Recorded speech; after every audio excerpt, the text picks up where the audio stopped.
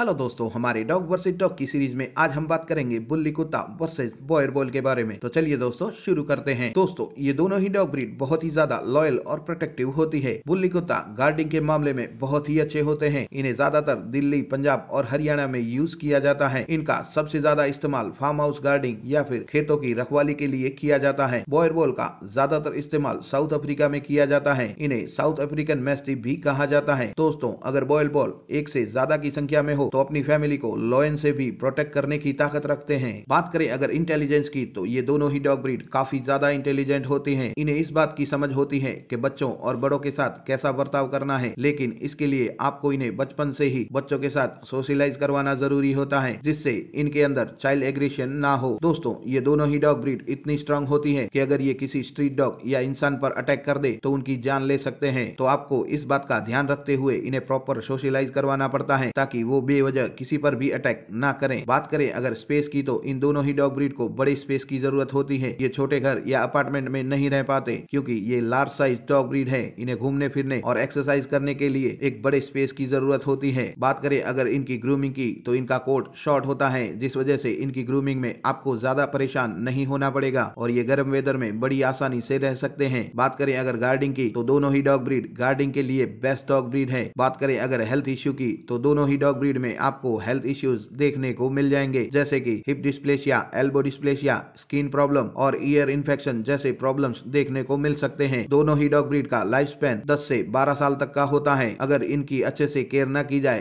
तो इनका life span कम यानी की आठ से दस साल तक का भी हो सकता है।